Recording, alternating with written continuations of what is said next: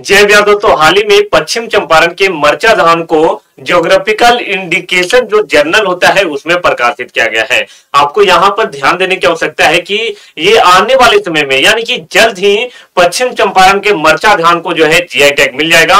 और यहाँ पर देख सकते हैं ज्योग्राफिकल इंडिकेशन जर्नल में यहाँ पर बोला गया है कि पश्चिम चंपारण की आन बान शान और मर्चा धान जो है, उसको यहाँ पर सम्मिलित कर दिया गया है।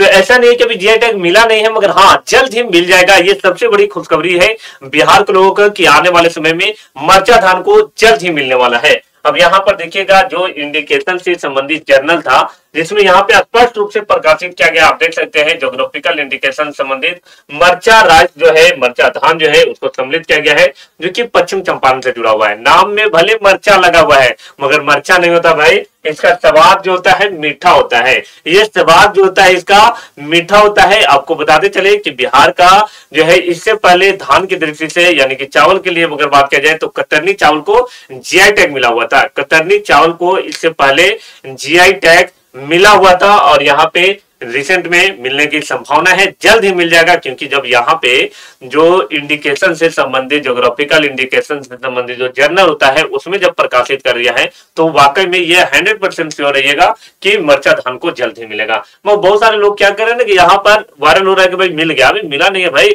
यहाँ पर प्रोसेस में है और जल्द ही मिल जाएगा। आपको बताते चलो कि बिहार का वैसे उत्पाद जिसको आने वाले समय में जीआई टैग मिलने की संभावना है। जैसे अगर बात किया जाए कि आपको ये बालूशाही नज़र आ रहा होगा। ये बालूशाही कहाँ वाला फ़ेमस है? सीतामढ़ी का जो बालूशाही है, उसको आने वाले समय में जीआई टैग मिलने की संभावना है। ऐसा लोगों का हमेशा से डिमांड आता रहा है, मांग उठते आया है। इसके बाद बावन बूटी को जीआई टैग मिलने की संभावना है। यहाँ पे मिथिला का रेहू मछली को और तिलकुट, जो आपका गया वाला इलाका का जो तिलकुट है, उसको मिलेगा।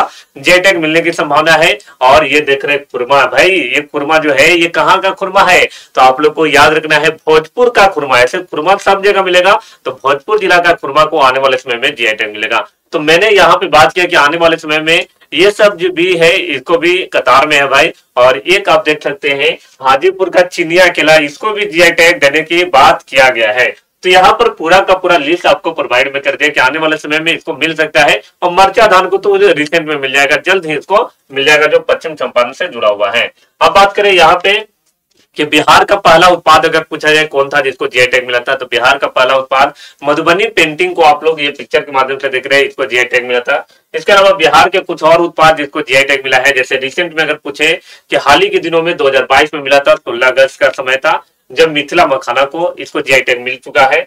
इसके अलावा अगर बात करें बिहार में मघी पान जो कि आपका औरंगाबाद, गया, नवादा, नालंदा वाला इलाका में पॉपुलर है। मघी पान को जीआई टैग मिला हुआ है। और यहाँ पर जरदालू आम, जो भागलपुर से रिलेटेड है, इसको भी जीआई टैग मिला हुआ है। कुछ और उत्पाद को देखते हैं, जैसे नालंदा का सिलाव खाजा। सिलाव एक जगह है नालंदा में, वहाँ का खाजा जो है फ़ेमस है, उसको भी जीआई टैग मिल चुका है। और आपको बता दें कि ये जो है जो खाजा जो है, इसके बारे में ऐसा कहा जाता है कि इसका स्वाद जो है, गौतम बुद्ध भी एक बार चखे थे।